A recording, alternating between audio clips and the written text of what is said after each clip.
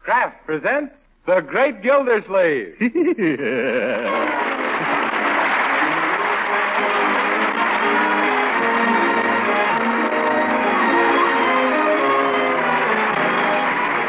Kraft Cheese Company, who also bring you Bing Crosby every Thursday night, present each week at this time Harold Peary as The Great Gildersleeve, written by Leonard L. Levinson.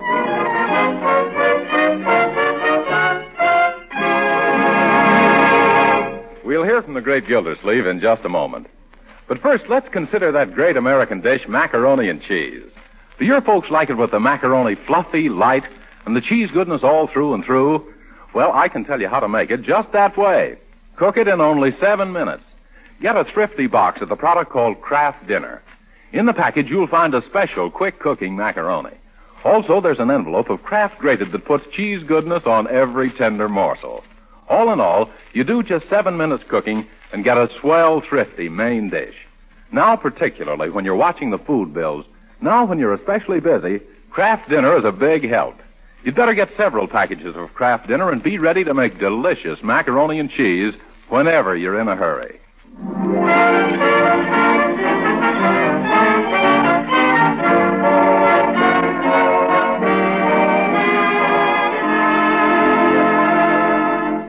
Once again, let's visit our friend, the great Gildersleeve, who's not a happy man today. No, indeed, this is one of his bad days.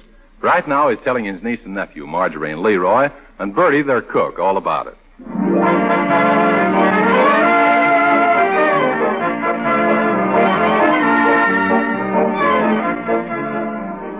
Yes.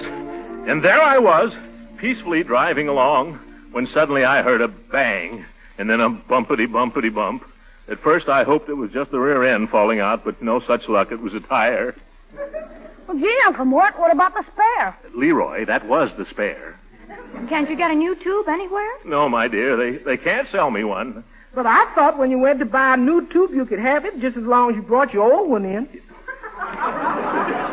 Birdie, that's for toothpaste, not rubber. Oh, excuse me, I got my gums mixed up. Never mind, Leroy. I'll tend to the door. Oh, hello, Judge Hooker. Uh, Judge Hooker, what does that sawed-off Solomon want? Hello, Gildy. Hello, kid. Oh, Judge. Hello. Say, Gildersleeve, I saw you down on Center Street this afternoon with that flat tire, and she certainly looked bad. How dare you talk about Rosita Callahan? Oh! You mean the flat tire on my car, yeah. yeah, it looks like I'll have to learn to drive on three wheels, Judge. Oh, no, you won't. Here, take this. Gee, Unc, what's in the package? Huh? Well, it, it feels like. Oh, I'm afraid to hope. By George, it's a girdle. Oh, no, it's an inner tube. Oh, Judgy Wudgy. Hey, keep him off me. Stop trying to kiss me, Gildy. Oh, I'm so happy I could dance. But he's a jolly good fellow. He's good and he's ripe and he's mellow. He's kind underneath his big bellow. And his heart is as big as his head. Wahoo! Now, now, Throckmorton, control yourself. Uh-huh. Yes, Uncle. Quit wearing that inner tube around your neck. Well, Oh, let him. It matches the one around his middle. oh, you're a card, Judge. Say, how can I repay you? Uh, won't you stay for dinner? No, thanks. Uh, can, can I lend you any money, pal? Uh, how about taking a pound of sugar? No, Gildersleeve, I've been amply repaid just watching the way your big, fat, stupid face lights up. Well, what a sense of humor. Hooker, you kill me. Hey, Unc, before you do anything rash, don't you think you should see if it'll fit your car first? Leroy, Leroy, that isn't polite. Remember, you must never look a gift tube in the size. By the way, Judge, it is the right size, isn't it? Of course it is, you big blimp. Big blimp. Well, so long, folks. I've got to get back home now. Uh, good night. Bye-bye, Judge. Leroy, there goes one of nature's noblemen. That isn't what you said about him yesterday, Unc. Uh, What did I say? You said he was so stingy he has his bubble gum retreaded. Leroy, never repeat malicious gossip. Today we saw on you, Judge Hooker, a kind, generous, thoughtful Hooker. Yes. Yes, I got to find some way to reciprocate for this beautiful tube. Well, he's running for re-election, If that's right. and next month he's going to observe his 20th anniversary as a judge. Say, that'd make good publicity for his campaign. If we could celebrate by giving him a. Now, let me see. We could give him a. Dinner? Yes, we could give him a dinner. No! Uh, wait, why not? That's what we'll do. We'll organize a testimonial dinner and keep it a surprise from him. Yeah, and get him a present, too. You're a bright boy, my boy. Now, what kind of a present should we get Judge Hooker as a reward for sitting on the Superior Court bench for 20 years? I know it's Mr. Gillsleeve. What, Birdie? A big, soft, fluffy pillow.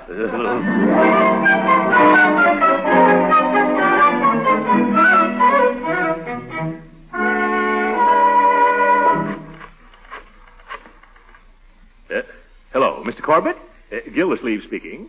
Uh, we're holding a testimonial dinner for Judge Hooker, and I'm calling to see how many tickets you want.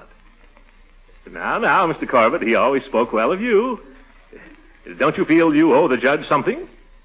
How? Why, during the last election campaign, didn't he kiss your baby? And right after that, didn't he come down with the mumps? What's that? Oh, your baby got the mumps from him. Oh, excuse me. Goodbye. Maybe you shouldn't have brought that up, Uncle Mort. Mr. Corbett controls a lot of votes. Oh, Hooker's going to win in a walk, my dear, and a good thing, too. The little stiff is getting a little stiffer. Hey, Unc, look, I've printed all the tickets on my printing press. oh, fine, my boy. Thank you. Uh, you owe me two dollars for paper. All right, here's one of the tickets. They're worth $2. Go out and sell it. Jeepers, why didn't I think of that? yeah. I'm getting you Mrs. Twitchell, Uncle. Oh, thanks, Marjorie. There she is. Hello, Mrs. Twitchell. Uh, this is Mr. Gildersleeve. I'm on the Judge Hooker Testimonial Dinner Committee. You know the judge, don't you? Now, Mrs. Twitchell, he always spoke well of you. Oh, hello, Judge Hooker. Mr. Gillsleeve's in the study. Uh, How many tickets do you want, Mrs. Twitchell? Uncle Mort, here comes the judge. Uh, Oh, my goodness. Hide the tickets. Uh, quickly now. Yeah. Don't let that old baboon see him. Huh? No, no, not you, Mrs. Twitchell. The other baboon. Hello, Gildersleeve. Who's a baboon? Uh, me. Yeah. See you later, Mrs. Twitchell. Goodbye. A charming woman, that Mrs. Twitchell, isn't she? Only with snakes. She and her husband are still sore at me because of something that happened in my court years ago. What was that, Judge Hooker? I married them. Say, what are these tickets doing on the floor? tickets? Oh, never mind, Hooker. I'll pick them up. No. Quit hitting me with that thick skull of yours, Gildy. Did you get them all right, Uncle? Uh, yes, I think so. What's so important about those tickets, Gildersleeve? What are you hiding them for? Uh, who, me? Hiding? Uh, uh, uh, what- what pockets are you thinking about? the one, the ones you're stuffing in your pocket. Nothing against the law, are they? Oh, no, Judge. Quite the contrary. Yeah, that's right. They're for one of the most contrary. Uncle. Excuse him, Judge Hooker. He's just organized a benefit for a very deserving man. Yeah, so there. Oh, poor fella. Anyone I know, Gildy? Uh, oh, brother. Well, I'll be glad to buy a couple of tickets. Let's see 'em. Oh, I don't think they want you to buy any tickets for this, Judge. Oh, I see. I'm not good enough to go, huh? You just want to invite your Ritchie friends, is that it? Uh, All right. I know where I'm not wanted. All some people want out of you are your inner tubes. After they got 'em, they toss you aside like a worn-out casing. Uncle, your face is getting terribly red. Say something before your eyes pop out. Oh!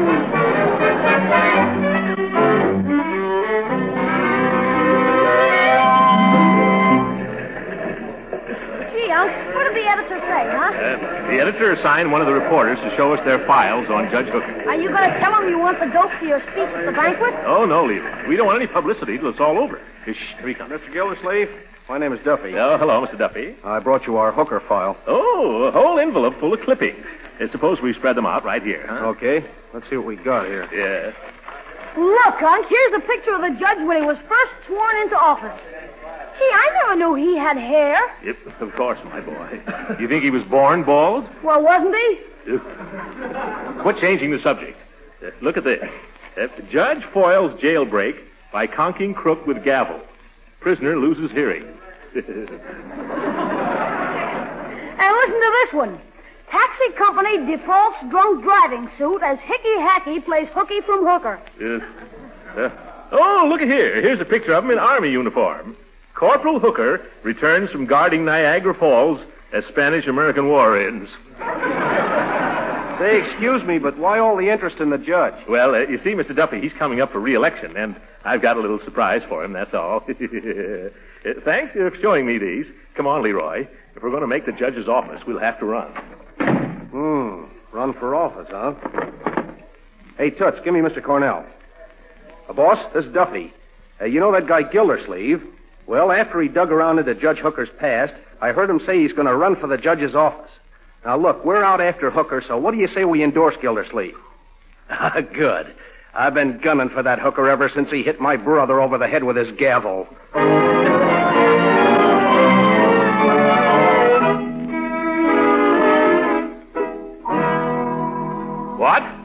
Just one ticket? No, see here. You're a lawyer, aren't you, Mr. Marks? And you practice in Judge Hooker's court, don't you? And you want to keep on winning cases, don't you? Huh? Well, how many tickets did you say? Six? Oh, well, that's better. Thank you, Mr. Marks. Goodbye. Good afternoon, Uncle Mort. How's the ticket sale going? Oh, splendidly, my dear. Although I'm afraid the speaker's table is going to be terribly unbalanced. Everybody is so eager to be on Judge Hooker's right side. Uh, excuse me, Mr. Gilsleeve, but the gentleman here to see you, only he ain't. Uh, ain't? What do you mean, Birdie? He ain't no gentleman. He looks tougher than 20 cents worth of goat meat. Oh, Birdie. Birdie, that's just your imagination. Show him in. Yeah. Okay, but when I point to the door, I'm going to have a meat cleaver in my hand. I wonder who it can be. Oh, probably some friend of Judge Hooker's. Mr. Beer Bell Box! Well, well, well. Hello, Mr. Gildersleeve. Say, some joints you got here. Uh, yes, isn't it? Uh, what can I do for you, Mr. Beer Bucket? Uh, Buck is the name. Oh, yeah. Only me friends call me Beer Barrel for oblivious reasons. Blue- Uh, some of us boys was hearing about this feed you're throwing for old Persimmon Puss. Persimmon Puss. The judge, the judge. Uh, And uh, we wanted to be excluded, too. Yeah, we want to pay tribute to the old geezer. oh, well, that's a very nice spirit, Mr. Barrelhouse. I'm sure the judge will appreciate it. I hope so. I've been trying to get to the judge for some time now. Say, if uh, we buy a hundred tickets, do you think that'd take care of the beef? Take care of the beef. That'd take care of the whole meal. That'll cost you $200. Two C's? Well, that's a mere bagatelle. oh, bagatelle. Sally. Here, your tickets, Mr. Pilsner. And here's the dough. Well, so long. It's sure going to be a load off of me associates' minds now that we're palsy-walsy with old Pickle Pan. Pickle pan? Oh, yes, he means cucumber kisser. that reminds me. Have you heard about my poem for the banquet, Marjorie? No, Uncle Mort. Well, it's called Poem on the occasion of the celebration of Judge Horace Hooker's 20th anniversary of his election to the state Superior Court bench. Oh, that's just wonderful, Uncle. Eh, Wait a minute, that was just the title. How does the poem go? Uh, I don't know, I haven't written it yet. Where is it? Lead me to him. Oh, there you are. Gildersleeve, what is the meaning of this? Oh, hello, Judge. What's the meaning of what? This story in the political column of the Times. Throckmorton P. Gildersleeve to run against Judge Hooker. Dark horse enters race. Yep. Who's a horse? It's a plot, a frame-up to ruin me. Gildersleeve, you're going to pay for this. Yes, but Judge, I, I just went there to look. Put down that floor lamp, Hooker. I'll put it down on your head, you overstuffed double-crosser. Uh, wait a minute. Uh, That paper lied. Uh, How can I run for a judge? I'm not even a lawyer. Say, that's right. Uh, I should have thought of that myself. But I'm all a bundle of nerves today. Huh? Got a mighty tricky trial on my hands, and I've got a right to be jittery. is that so? What case is that, Judge? A gang of cutthroat racketeers, whole slew of them. It's Beer Barrel Buck and his mob. Oh, my, here we go again.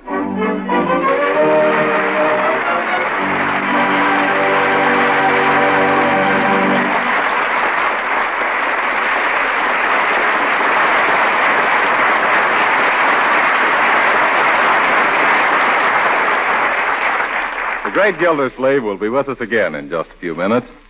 Meanwhile, let me tell you how to perform a little kitchen magic. How to make delicious macaroni and cheese in only seven minutes cooking time. You do it with a product called Kraft Dinner. In every box of Kraft Dinner, there's a special macaroni. You plunge it into boiling water, cook it not more than seven minutes by the clock, and it's finished. Fluffy, tender as any macaroni you ever baked in your life. You drain the cooked macaroni, whisk in a little milk and butter, and then sprinkle cheese goodness through and through with the Kraft grated that also comes in every Kraft Dinner box. Isn't that easy? And wait till the folks taste this fluffy macaroni drenched in cheese goodness. Kraft Dinner served as a main dish is downright thrifty. At your grocer's tomorrow, see that for yourself. And get several packages of Kraft Dinner so you can stock the pantry shelf.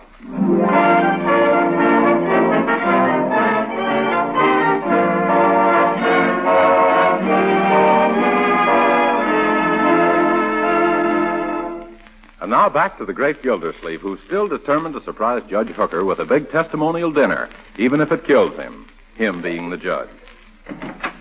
Oh, hello, Birdie. Good afternoon, Mr. Gildersleeve. I've just come from the Summerfield Biltmore. The chef and I arranged the menu for the banquet. Listen to this. At first, crab a la Judge Hooker. What's that? Oh, you know what a big crab the judge is. Well, these are even bigger. Uh, Next, parole of mock turtle soup, Well, what's that parole mean? fresh out of the can. After that, Birdie, comes the fowl. The fowl what? It, Birdie, stop interrupting. We're having turkey a la Gildersleeve. Now, what can that be? Yeah, I'm not sure myself. The chef said something about it being stuffed with chestnuts. After that, uh, roast beef, baked potatoes, cream corn, and chocolate whipped cream pie. Mm, all sounds mighty rich. Judge Hooker usually sups on milk toast and a cup of hot water, diluted. Birdie, the only reason we're giving this dinner is so the judge can get a good square meal. Hello, Uncle Mort. Say, did you order a lot of flowers for the speaker's table at the banquet? Well, yes, but why not? Well, doesn't Judge Hooker suffer from rose fever? It rose fever. Now, Marjorie, a few American beauties aren't going to hurt his Yankee noodle. Uncle Mort, you look worried. Yes, why not? All the details of that dinner on my shoulders, arranging for speakers, trying to find a suitable present for the guest of honor, worrying about that gangster and his mob showing up. You mean that fellow who came in and bought a hundred tickets? Yes. If Beer Barrel and his gang come, the decent people will think they're pals of hookers, and the judge will be washed up like seaweed. Well, why don't you give them their money back? Oh, Marjorie, I refuse to have any dealings with crooks.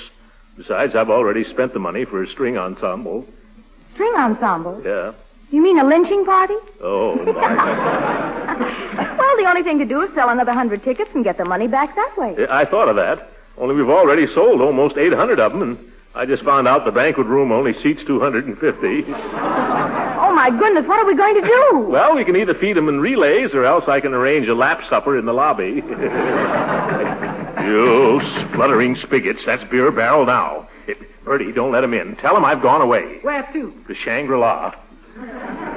Uncle, you'll never squeeze under that sofa. Hey, let me in. Who wants the door? I'm coming, Leroy. Oh, get up, Uncle Mort. It's just Leroy. You don't have to hide. If who? If Leroy? If, uh, who's hiding? I was just playing air raid shelter. Hey, Unc, you don't have to worry about that big gangster anymore. Uh, how do you know? It says so right here in the paper. Look. Uh, let me see. Uh, Judge Hooker sentences hoodlum mob to 20 years apiece. Beer barrel Buck dragged from courtroom, shrieking, I want my money back.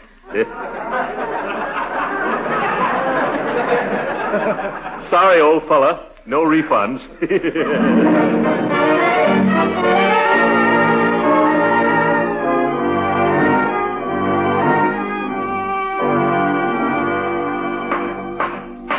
Court will now take a recess for five minutes. That's what we've been waiting for, Leroy. Now, you, you know what you're to do, don't you? Yeah, sure, Unc. We're going up to talk to Judge Hooker, and when he isn't looking, I'm going to swipe his gravel. It's not gravel, my boy. Gavel. Okay, I'll swipe his gavel then. Not swipe either. We simply want to borrow his gavel so we can measure it and have an exact duplicate made in ivory and gold as an anniversary present. Why does it have to be so exact? Well, the judge is as temperamental about his gavel as a golf pro is about his clubs. You mean the judge uses it for a putter? Yes. No, my boy. He's just finicky about the size and weight. He never leaves it around. He probably takes it home nights to crack nuts. Oh, hello, Judge Hooker. oh, yes. Hello, Judge Hooker. Hello, Leroy. Hello, Gildersleeve. What do you want? Oh, I just dropped in for a visit. How's your election campaign coming along, Judge? Badly. Very badly. I can't understand it at all. Three weeks ago, I was as good as reelected. Today, I have a tough fight on my hands. Huh? Gildersleeve, I believe there's a conspiracy against me. No, who'd ever do such a dirty trick? Well, there's some sinister figure trying to cut my throat behind my back. You mean there's something underhanded is hanging over your head? I don't know what I mean. Half the crooks in town come up to me now and slap me on the shoulder and say, I'll be seeing you, Judgy. People keep winking and whistling at me. I'm being persecuted, I tell you. Oh, no, maybe it's just some friends uh, planning a surprise, Judge. Friends? You mean fiends? Why, if I ever... me, Judge. Time to resume court. Thank you, Silsby. I'll be right there. Look, Gildersleeve, Uh? keep your eyes and ears open. If you see or hear anything suspicious, please let me know. Oh, sure, Judge. Just leave everything to me. Unc, Uh, coming, Leroy. Uh, Did you get it? Sure, and I drew an outline of it on paper, like you told me. Oh, fine. Let's slip the gavel back into place now, huh? Court will come to order, please. Just a second, Silsby. Where's my gavel? Uh-oh. Where's the judge's gavel? It was right there, Your Honor. Isn't here now. Someone must have stolen it during recess. Leroy, isn't it getting a little stuffy in this courtroom? Why, uh, yes, Uncle Throckmorton. Shall we get some fresh air? Well, is this a practical joke or a real theft? All right, bailiff.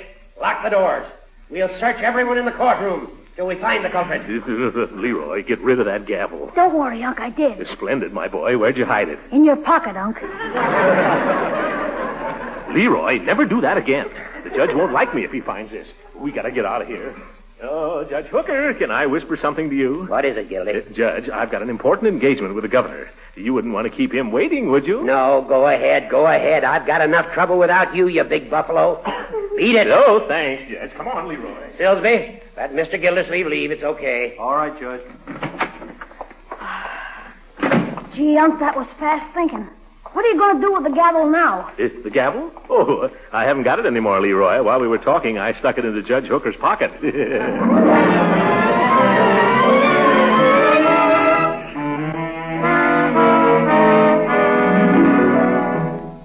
I'm an extremely busy man, Mr. Gildersleeve. What can I do for you? well, Governor, I hate to ask any favors, but after all, I voted for you the last three times you were elected. Thanks. However, this is my first term in office. Yes, it is? Oh, must have been two other governors. Please get to the point of your visit, Mr. Gildersleeve, if your visit has any point. Oh, it has, definitely. I, uh, I just want to invite you to be the principal speaker at a dinner we're giving for Judge Horace Hooker. Hooker? Why, that little... Uh, uh, uh, Governor, he's always spoken well of you. No, he has, has he? Oh, absolutely. Except maybe when you pardon some crook he's just sent up the river, or pass some law that he has to declare unconstitutional, or to get involved in some shady deal with the forestry department. And what does he say then? Oh, he still sticks by you. He says our state has the best governor that money can buy. See here, Gildersleeve, I didn't come to Summerfield to be insulted. I know it. Judge Hooker said you came here to make a couple of sharp horse trades so you can stay in office. Well, after that, I'm certainly not going to make a speech in favor of any political nincompoop. But I'm not asking you to talk about yourself, Governor. I wasn't talking about myself, Gildersleeve. I was referring to that miserable little travesty on justice. That anemic habeas corpuscle. That blithering judicial blunder named Judge Hooker. Did you get that? Uh, no, Governor. Would you mind repeating it again? There's a couple of dandies I'd like to remember.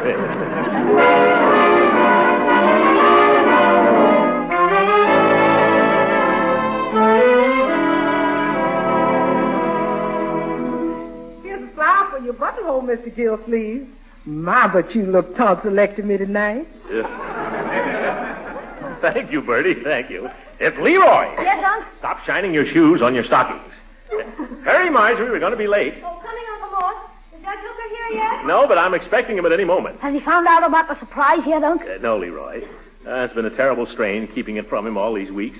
He thinks the four of us are going to the Summerfield Biltmore for a nice, quiet dinner. I can hardly wait to see his dyspeptic dial light up when he walks into the banquet room and sees all those people. oh, that must be him now. I recognize the ring. I'll answer, Birdie. Well, well, come in, come in, come in, Judge. Gildersleeve, on the way down here, I was stopped by a motorcycle officer. Oh, my goodness. That's too bad, Judge. Yeah, police department's in a perfectly rotten state. I agree with you. Imagine that cop. He offered me my choice either a $5 ticket for speeding, or else I could buy a ticket for some political shindig for $2. Uh, a, a political shindig? Oh, well, I, I hope you took your medicine like a good citizen. I did. I gave him the two bucks. No. Didn't even look at the darn thing in the dark. Wonder what racket it is. Oh, well, there's uh, no time to waste, Judge. Uh, let's get going. Uh, Marjorie! Hurry up, Marjorie! Plenty of time, Gildy. Now, where did I put that ticket? Uh, Marjorie! Hurry up! I found it. What's this? Uh, Marjorie, never mind hurrying up. Testimonial dinner honoring 20th anniversary of Judge Horace Hooker. Entertainment, music, speakers. Uncle Mort Gildersleeve, chairman. Uncle Mort, Leroy, why did you do that? Gildersleeve, why did you do this? Oh, now the surprise is all spoiled. But I hate testimonial dinners. Now, he tells me. Why couldn't you have mentioned it three weeks ago when you gave me that tube? You could have saved me all the time and trouble I put in.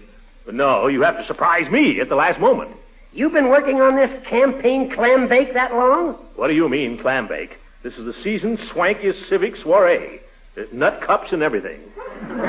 But what's the idea of having cops flag people down and then hold them up? Hey, do I get my two bucks back? It's all in good time, Hooker. Let's wait and see if we have a deficit first. Well, I'm all ready. Well, come on, what are we waiting for? Oh, yeah, that's right. What are we waiting for? Let's hurry up. I wish I'd have known about this before. I'd have gotten a haircut. Come on. You haven't needed a haircut since you came back from Niagara Falls, Corporal. Hurry, everybody. Now, hurry. Mustn't keep the crowd waiting. All right. Yeah. Judge, when all those hundreds of people stand up and start cheering, now you've got to pretend that this is all a big surprise. You understand? Don't worry, I'll know what to do. Say, I think I'm going to like this. Yeah? Well, you better like it after all the trouble. Oh, great jumping jeeps. What was that? As if I didn't know. Well, what was What was it, Gildy? Remember the tube that brought on this little celebration? Yes? Well, it just had a blowout all of its own.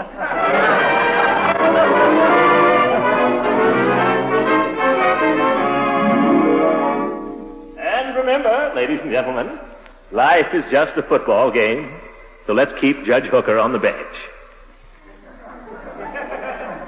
We should also honor him for his military services to his country. A brave soldier in time of war, an officer beloved by all who served under him, and a gentleman who flinched not at his post. And it is with this thought in mind that I ask your indulgence while I read a little poem eh, of my own composition, especially written for this occasion as a tribute to that prince of good fellows, George Horace Hooker. H is for honesty. You can see it in his mug. O is for offenders, who he puts right in the jug.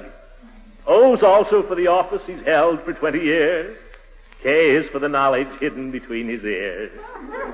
E is for the energy that always has been his. R is for re-election. Let's keep him where he is. Put them all together, they spell Hooker, a name that fits him like a glove. Uh, yeah. And in conclusion, ladies and gentlemen, if any of you have been lavish in your praise of Judge Horace Hooker, it's only right. For remember, he always spoke well of you. Thank you, Marjorie. Thank you, Leroy. Too bad you printed the wrong date on the tickets, Leroy. Otherwise, we surely would have had a bigger crowd.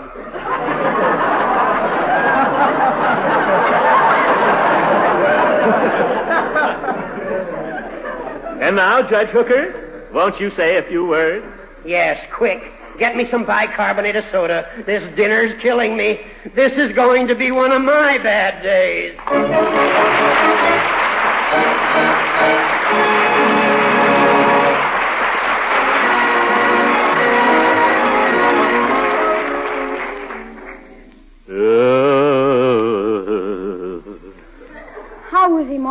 Oh, he'll be up and around in a day or so. How you feeling, Uncle Mort? Is that lump on your head any better? Uh, what happened? Last thing I remembered was presenting Judge Hooker with that gold and ivory gavel. What caused the blackout? Gee, Unc, he presented it right back to you. He did? Good night.